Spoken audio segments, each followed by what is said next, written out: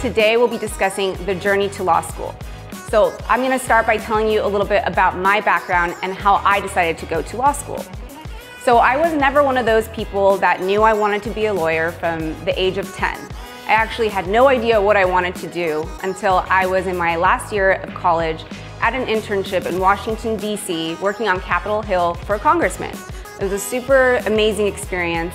Decided I maybe wanted to get into politics, and so that's where I decided law school would be the best bet. Fast forward a little bit, I decided politics isn't for me, but law school was still the best option for the career choices I wanted to get into.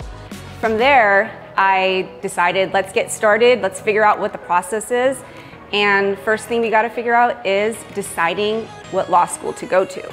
So how do you figure that out? And how important is it to really go to a top law school like Harvard? Let's break this down.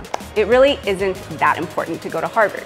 Yes, it's great, if you get into Harvard, awesome, but most jobs don't really require you to be a Harvard or a Yale graduate.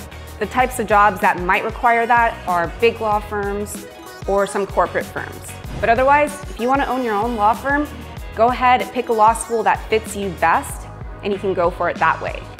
Another thing to keep in mind is your geographic location. Where do you want to end up working? You might want to stick kind of close to that area just because you'll build your network there, you'll be able to take on jobs, internships in that area, Okay, so the next thing we need to think about when you're deciding your law school is cost. And law school is expensive. Everyone's gonna come out with debt, so don't be scared of debt. I know it's not something you wanna have, but unless you can afford $250,000, you're not gonna be able to come out of law school without debt. So when you're coming down to deciding your options, you should think about schools that may offer you scholarships.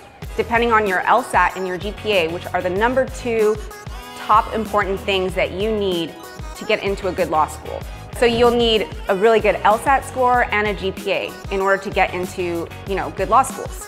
Now, some schools don't need as high of a GPA or as high of an LSAT score. So if you get into those schools with higher LSATs and GPAs, you might be able to get a scholarship. So maybe the, the law school doesn't have the highest rank, but at least you'll come out of law school with a little bit less debt. So what do you need in order to get into law school? I mentioned this before, but you need a really good LSAT score and GPA. So let's talk about preparing for the LSAT. You wanna make sure you take the LSAT at least a year before you plan on applying to law schools because you wanna give yourself enough time to study, to prepare, and um, apply to your schools. I always recommend giving yourself at least three to six months to start studying and before you start studying, you can take a practice test to see where you score. Now don't get discouraged because sometimes you'll take the practice test and you have absolutely no idea what it is, so your score may be super low.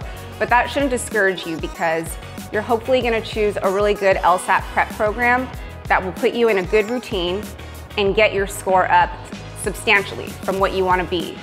That would be my recommendation on LSAT prep. You can take the LSAT as many times as you want. So if you don't do well on the first time, don't be discouraged. Again, you can take it again.